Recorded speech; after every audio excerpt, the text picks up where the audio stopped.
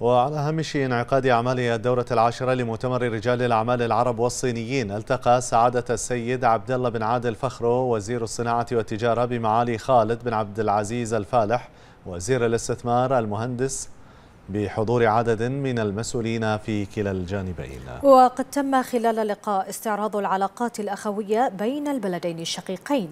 وأكد سعادة الوزير دعم حكومة مملكة البحرين لكافة البرامج والمبادرات والمشاريع التي من شأنها تعزيز هذه العلاقات وتطويرها.